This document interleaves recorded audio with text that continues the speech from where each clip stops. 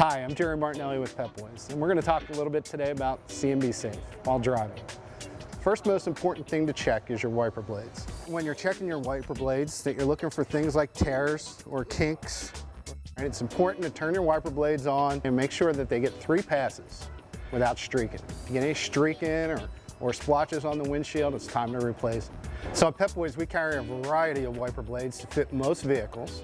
We do wiper blade installation for no charge anytime you buy wipers from Pep Boys.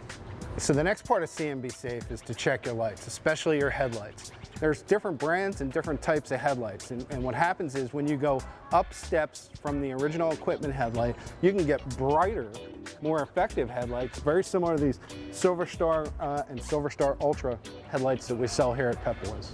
Once you make sure that you got the headlights and your lights are all working fine, is to take a real serious look at that lens that is your headlight lens. Because if it's cloudy or dark, it's time to restore that headlight lens. At Pep Boys, we sell multiple different brands of headlight restoration kits, and what they are just a couple of quick steps, and you're sanding off the, the, the oxidation that's in the plastics and getting it back to smooth and clear, and it's almost like new when you're finished.